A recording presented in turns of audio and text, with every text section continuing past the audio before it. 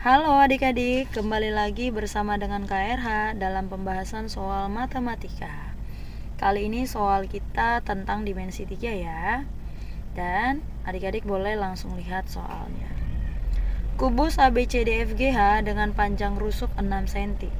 Jika titik P adalah titik tengah garis CD, maka berapa sih jarak titik A terhadap bidang BPF. Oke, yang pertama adik-adik kita harus gambarkan dulu kubusnya.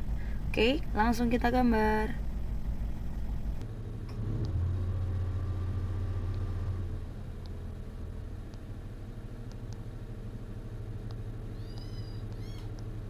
Nah, lalu saya buat penamaannya. Ini namanya titik A, titik B, C D E F G H. Panjang rusuknya 6 cm lalu P ini di tengah-tengah garis CD nah kita anggap nih atau kita misalnya di sini titik P nya. Lalu dia tanya jarak A ke bidang BPF oke saya hubungkan dulu B ke P lalu ke F Nah, kalau misalnya adik-adik lihat ini ya, BPF ini adalah sebuah segitiga, segitiganya segitiga siku siku. Di mana siku-sikunya? Siku-sikunya adalah di B. Nah, di sini dia siku. Oke. Lalu dia tanya, berapakah jarak A ke BPF? Berarti kalau jarak titik ke bidang itu sama aja jarak titik ke garis di mana garis ini adalah wakil daripada bidang. Dan kalau bidangnya segitiga biasanya garis yang mewakilinya adalah garis tinggi. Jadi karena di sini bentuknya segitiga siku-siku berarti kalau tidak BP BF atau nanti B tarik ke PF secara tegak tegak lurus jadi P itu tadi di sini ya saya nih berkelihatan nih P nya ya. Sudah? Jadi tinggal kita tarik aja uh, garis dari titik A ke salah satu tinggi daripada segitiga BPF kita tahu yang namanya mencari jarak titik ke garis dia harus tegak terdekat dan tegak lurus gitu ya. Nah misalnya di sini. Ini belum pasti di tengah ya ada. Jadi nariknya ke ke si BP secara tegak lurus. Lalu kemudian kita bentuk sebuah segitiga di mana nanti harus mewakili A dan ada juga BP nya gitu. Jadi kalau saya hubungkan atau saya bentuk sebuah segitiga berarti terbentuklah sebuah segitiga. Nama segitiganya adalah segitiga APB ini saya keluarkan aja segitiga APB nya biar terlihat. Ini saya tidak tahu ini segitiga apaan ya. Apakah sama kaki sembarang atau dan lain sebagainya. Nah yang ini A yang ini B yang ini P. Sekarang kita cari aja dulu panjang rusuknya ya. AB itu adalah panjang kubus berarti panjangnya 6 sementara BP ini bisa kita cari menggunakan segitiga BPC BC nya 6 karena P tadi di tengah-tengah berarti ini 3 maka nyari AP eh sorry nyari BP ya ini sama aja dengan akar daripada BC kuadrat plus PC kuadrat. BC nya adalah 6 dikuadratin plus PC nya dikuadratin adalah 3 kuadrat.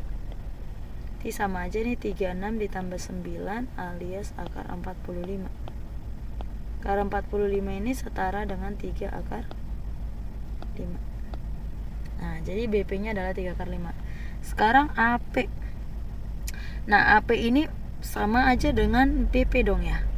Ya kan? AP ini sama aja dengan BP berarti berarti AP-nya juga 3 akar 5. Nah. Nah, ternyata ini adalah sebuah segitiga sama kaki, ya kan? Berarti kalau sebuah segitiga sama kaki tinggal kita gunakan aja konsep perbandingan luas. Karena yang ditanya tadi jarak A ke BP berarti tinggal tarik secara tegak lurus nih. Saya sebut namanya titik O. Jadi yang ditanya itu adalah panjang AO. karena tadi ini segitiga sama kaki berarti boleh kita pakai bantuan segitiga bantuan tinggi segitiga yang lainnya yaitu misal saya tarik dari P ke sini nah ke sini ya saya sebut namanya titik Q karena sama kaki sudah pasti aki sama dengan baki berapa panjang aki berarti tiga setengah dari AB maka tinggal kita cari PQ itu. Oke. PQ itu sama dengan akar daripada BP kuadrat dikurang BQ kuadrat. BP kuadrat berarti akar 45 dikuadratin sama aja dengan 45 dikurang dengan BQ BQ nya adalah 9 karena 3 kuadrat. 45 dikurangi 9 ini sama aja dengan 36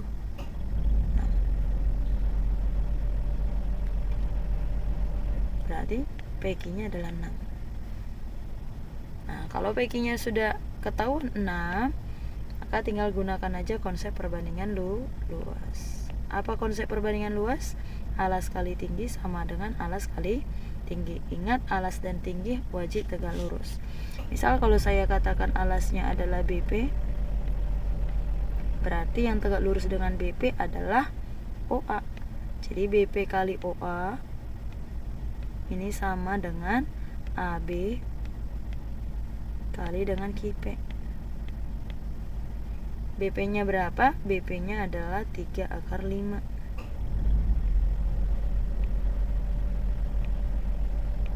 sementara OA nya itu yang ditanya. AB nya 6 KP nya atau PQ nya 6 juga. Sehingga kalau kita bisa sederhanakan 6 dibagi dengan 3 ini adalah 2 oke maka nanti panjang OA sama aja dengan 2 kali 6 berarti 12 per akar 5 atau ini boleh kita rasionalkan kali akar 5 per akar 5 sehingga jawabannya adalah 12 per 5 akar 5 gampang banget ya. Oke sehingga fix jawabannya adalah ayam Oke, itulah yang bisa kakak berikan kepada adik-adik. Semoga ilmunya bermanfaat dan jangan lupa untuk like, comment, subscribe, and share kepada teman-temannya. Oke, thank you.